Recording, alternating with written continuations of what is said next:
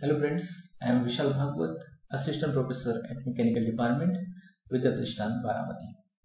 I welcome you in the lecture series of Systems in Mechanical Engineering.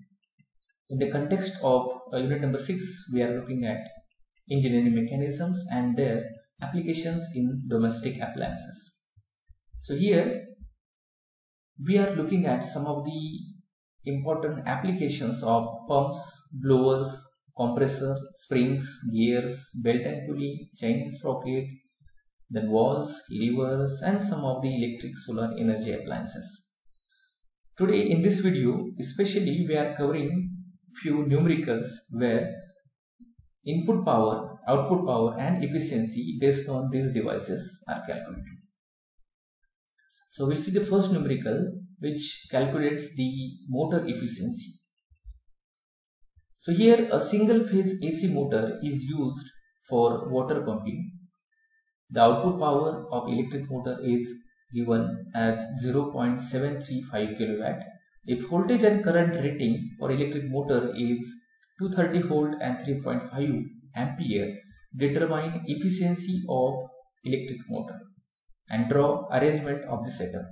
So after understanding the problem, one must draw the block diagram of these equipments so that the problem can be easily solved. Now here you see this is centrifugal pump where the water is pumped from the reservoir and it will be supplied to the desired location. And for this purpose, the prime mover that is electric motor is utilized which receives the power or the input power from the electric supply where the voltage is given to 30 volt and current ampere is uh, 3.5 and the output for motor becomes the rotation of the shaft. So this is output and input here the supply where voltage and current is given. So this is for motor and it will be uh, different in case of uh, centrifugal pump. As a given data some things are given here. Uh, output power is 0.735 kilowatt where voltage and current is 230 and 3.5 ampere respectively.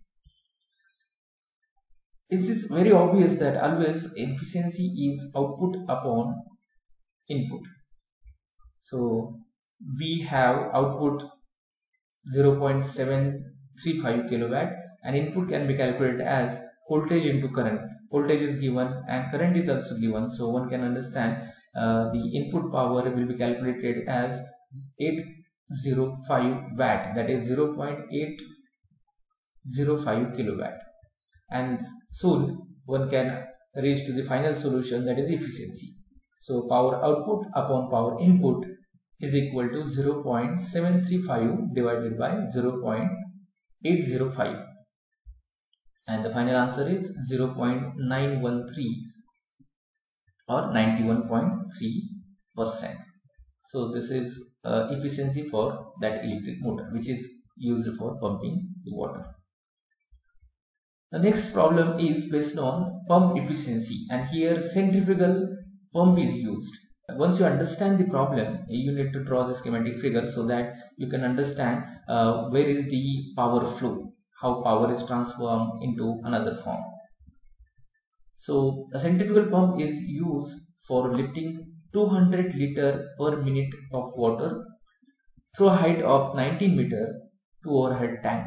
So this is a 19 meter height from water is lifted from this reservoir to this overhead tank. Considering density 1000 kg per meter cube for the water, the pump is driven by electric motor where uh, the power for electric motor is 0.735 kilowatt and it is running at RPM of 2880. Calculate output power and efficiency of the centrifugal pump. So you need to understand what are the things given and then you can solve for unknown. So here given data is flow rate or discharge is 200 liter per minute which can be converted into meter cube per second.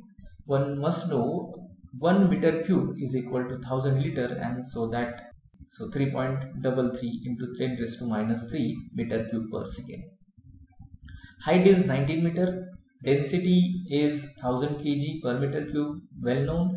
And then input is 0.735 kilowatt where input speed of the shaft that is 2880 rpm now efficiency always output power divided by input power you know the input power we need to find output power and output power is nothing but the hydraulic one hydraulic power.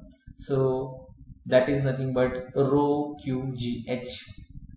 So this is the required power for the by the pump to lift the water at certain locations. So rho qgh. Rho is the density 1000 q is the flow rate g is the gravitational acceleration, acceleration 9.81 and h is the 19 meter height. And here you get the output power as 0.621 kilowatt.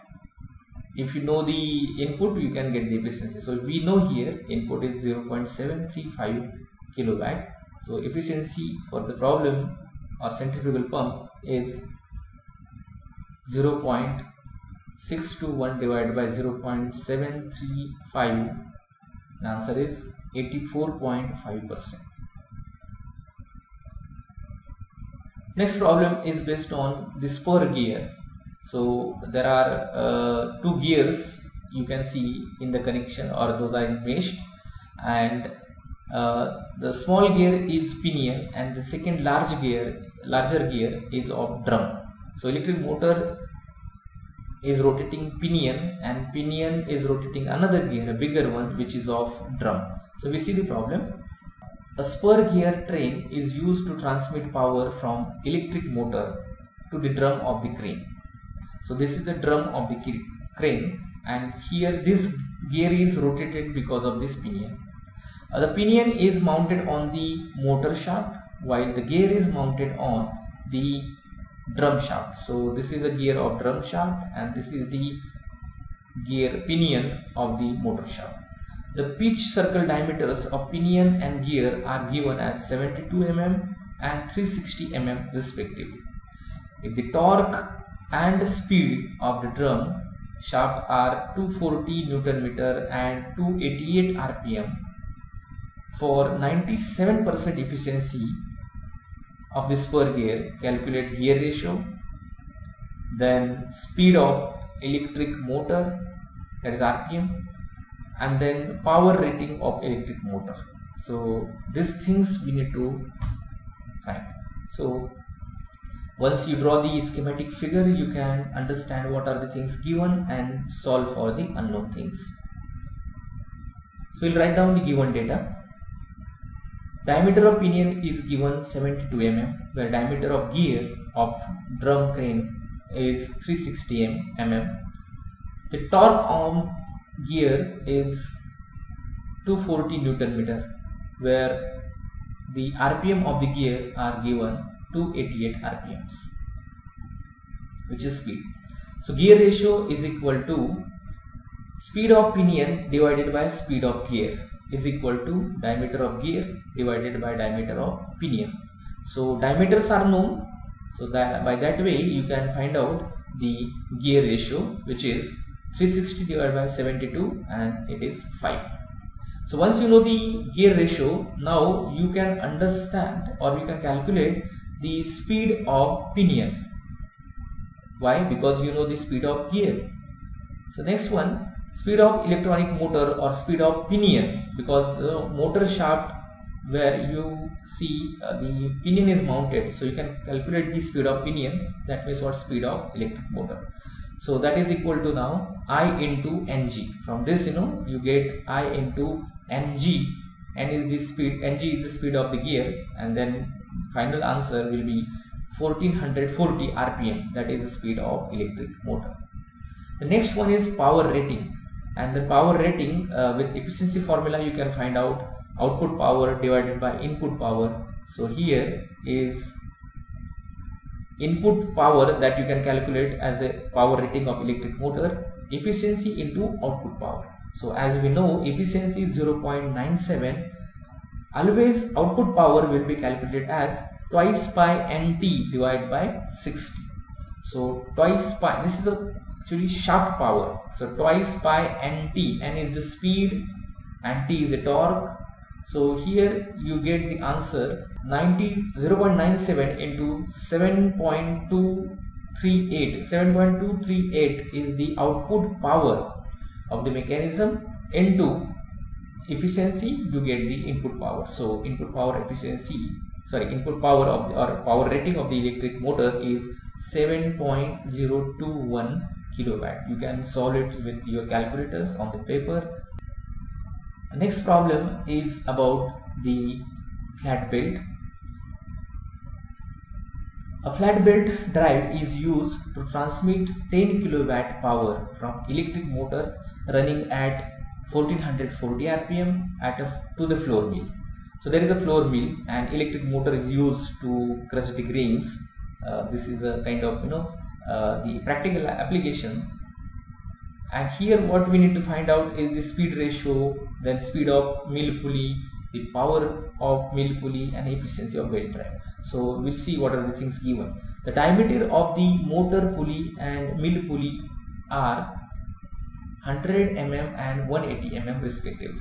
If torque of the floor mill pulley is 112 Newton meter, determine the speed ratio, the speed of pulley, then power of the uh, mill and then efficiency of the belt drive. So we need to draw here setup again. So schematic representation, just a block diagram. So this is the given data or the block diagram here you see this is the electric motor pulley the small one and then larger diameter d2 is the floor mill pulley so here is the electric motor connected so uh, given data for this motor pulley power for motor pulley is 10 kilowatt. Then speed here 1440 rpm and diameter for this is 100 mm where for floor mill torque is given 112 newton meter and diameter is given 180 mm so we can solve now the remaining parts or unknowns so given data can be written and directly you can solve the speed ratio. So speed ratio as usual the speed of driver divided by speed of driven which is reversely for diameters.